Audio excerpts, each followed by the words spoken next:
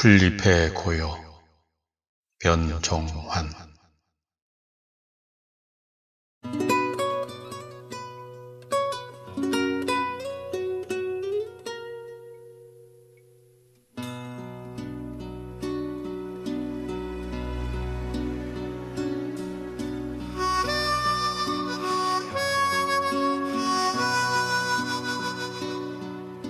낮아져서 한없이 낮아져서 풀잎해 부는 바람이 될까요?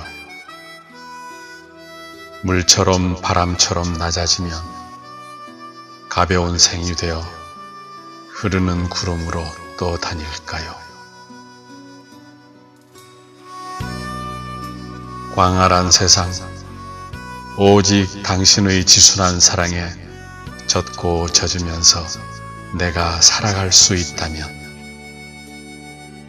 가슴은 기도로 열려있는 길이 될까요?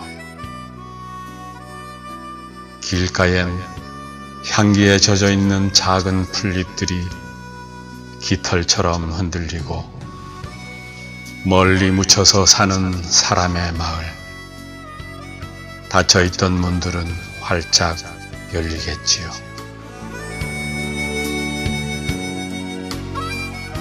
낮아져서 끝없이 낮아져서 내가 머무는 곳